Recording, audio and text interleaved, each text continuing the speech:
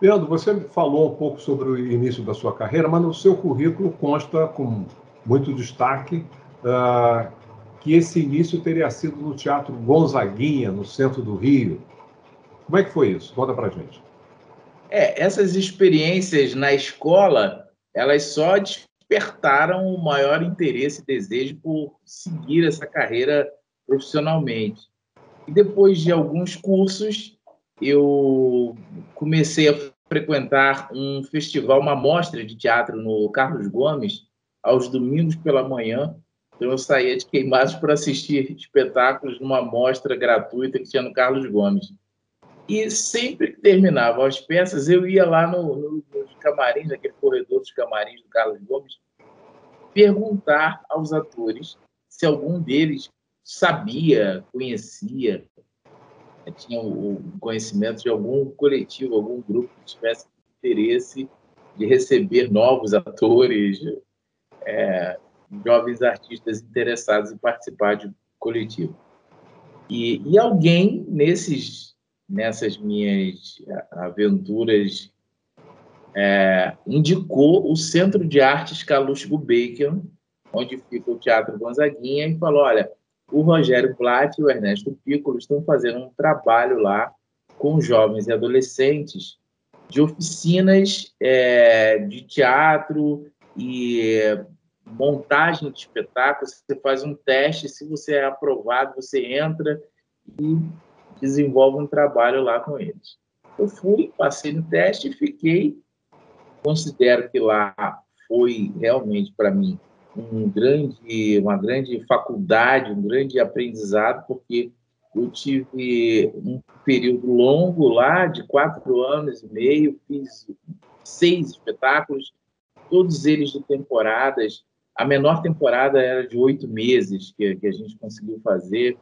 Rodamos vários lugares, fomos em cartaz muitos teatros do Rio, sobretudo no Gonzaguinha, é, o trabalho que a gente desenvolvia lá era muito intenso, porque era um processo profissional mesmo, né? porque não tinha é, uma grana de cachê, um, um pagamento sólido é, e um contrato de ator e, e, produção, mas tinha um processo de aprendizado, de relação com todos os profissionais da área técnica que era incrível. A gente chegava lá cedo e podia passar a tarde é, ou uma parte da tarde aprendendo o processo de figurinos da Calma Murtinho, e, e, ou então desenvolvendo um processo de trabalho é, de entendimento de, de, linguagem, de construção de cenário, é, com Ana Lu Prestes. Então, eram vários profissionais que eram contratados para desenvolver esse processo e que serviam de base para o nosso trabalho também como atores e atores.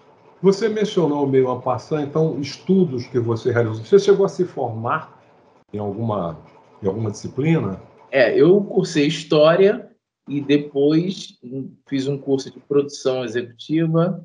É, agora estou fazendo é, gestão pública e sempre muitos cursos de teatro, né, que realizei fui fazendo ao longo da carreira e sempre buscando alguma qualificação mais na área de ator mesmo. É, agora, recentemente, é que eu estou me formando em gestão pública, depois de uma, de uma experiência de 16 anos como subsecretário na cidade de Queimados, secretário de Cultura, é, eu resolvi é, me aprofundar tecnicamente nessa área, fazendo o curso de gestão. Mas você também enveredou por outros caminhos dentro do teatro, ou seja, produção, direção? Como é que isso foi? Como é que isso, esse campo foi crescendo? É, a direção, eu confesso que nem é a área que eu mais é, gosto, né? Eu acabei meio que dirigindo por algumas necessidades de alguns processos que aconteceram e foram necessários que eu estivesse à frente dirigindo os espetáculos. Eu gosto mesmo de atuar e, e produzir. Produzir é uma coisa que me dá muita satisfação dá muita alegria é, conseguir produzir, né? Eu consegui produzir alguns espetáculos e também enveredei na produção artística de algumas ações que não eram teatro propriamente dito. A gente começou a fazer um processo de produção de exibição de filmes na cidade, criando um primeiro cineclube, depois é, um projeto também super bacana de chamado música comentada, de aproximação da música dita, erudita, é, de, do público da Baixada Fluminense, do público da periferia, a gente fazer um bate-papo é, entre os músicos e os espectadores no projeto Música Comentada. E várias outras produções que foram surgindo ao longo desse processo de, de trabalho e juntando ao trabalho de ator. Ou seja, o denominador comum de tudo isso é esse seu desejo de levar a cultura, levar a grande cultura à, à população, em geral, marginalizada dessas áreas, né, a própria área que você habita. Né? E, e aparentemente é um trabalho muito interessante. Tem sido satisfatório para você? Muito, muito satisfatório, até porque, na verdade, o que a gente faz é desvelar né, uma relação que já existe, que já está ali, já existe esse sentimento, essa aproximação, esse desejo do ser humano com a arte. Mesmo quem está nas periferias e não tem oportunidade e acesso, é, obviamente tem em si já uma relação muito própria com a arte e essa relação ela vai se despertar no momento em que a pessoa consegue é, se envolver, participar, assistir. Isso fica muito explícito quando a gente consegue, por exemplo, é, fazer com que um grupo de pessoas, é, ainda de um, de um espaço ainda mais periférico que a cidade de Queimados, os bairros da periferia de Queimados, por exemplo. Periferia da periferia. O, o nosso espaço, ou assistindo algum dos nossos espetáculos, ou os nossos espetáculos indo até esses bairros, uma coisa que a gente já fez inúmeras vezes, né? já levou vários trabalhos para vários bairros do município. Essa, essa relação, essa, essa troca, ela já está ali plantada dentro, já está chipada ali dentro do ser humano. É só a gente fazer essa conexão e, e fazer a troca mesmo. A palavra eu acho que é mais essa do que a gente não, não levava muito, não leva muito o, o, espetáculo até eles, ou eles até o espetáculo. A gente só troca, a gente só conecta. Essa, essa é a melhor definição. O Anjo Negro, Romeu e Julieta, O Alto da Compadecida, Sonhos de uma Noite de Verão nossa, seu currículo teatral inclui peças de grandes autores, peças importantes. Qual, qual, qual ou quais foram aquelas que mais tocaram você pessoalmente? Olha, é, é difícil, né? Dessa época do Gonzaguinha, dessa época do, do início, né? Assim, é, tem Praça 11, o musical, que é um espetáculo que eu tenho um carinho enorme uma, uma alegria, uma satisfação de lembrar que, que né? É, contava a história da Tia Seata, do surgimento do samba, de toda aquela região, de toda aquela área histórica do nosso Rio de Janeiro. É, e agora, recentemente, também o Lima Entre Nós, né? um monólogo sobre o Lima Barreto, falando da vida e da obra do Lima Barreto, pelo qual indicado ao Prêmio Shell de Melhor Ator. É um trabalho muito intenso, que eu muita alegria de fazer e sempre que posso retomo, reapresento. Já fizemos temporadas em diversos lugares, rodamos a Baixada inteira, fizemos é, na escola, iniciamos as apresentações ao público na Escola Estadual Lima Barreto, em São João de Meriti depois fizemos no CAPS Lima Barreto, em Bangu, é, e, e, circulamos já uma infinidade de escolas, cidades da Baixada, SESCs, temos bastante já o Lima.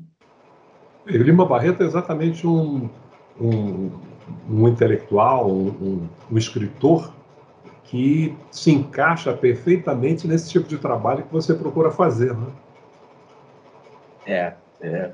por ser o Lima um cidadão que dividia as suas é, o seu tempo entre a arte a arte da literatura a arte da escrita a cultura né e, e também o serviço público eu associo a ele uma série de similitudes como ele usava a expressão a palavra que ele gostava de usar uma série de similitudes com a vida do Leandro também a gente fazer o Lima é muito especial, fazer o espetáculo sobre o Lima é muito especial. É um espetáculo que foi dirigido pela Márcia do Vale e que tem a direção de arte, cenários e figurinos do Marcelo Viegas, é um grande parceiro.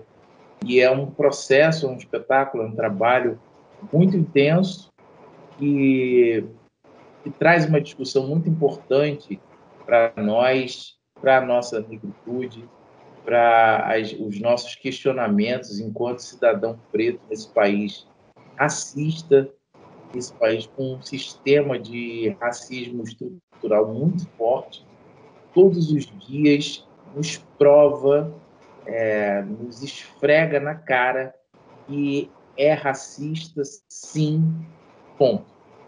Gente precisa estar o tempo inteiro é, usando todas as nossas possibilidades de, de agir no mundo, de falar, de se movimentar, de se expressar, para lutar contra esse sistema de um país que de tão miscigenado não daria para, se possível, acreditar que fosse tão racista, né?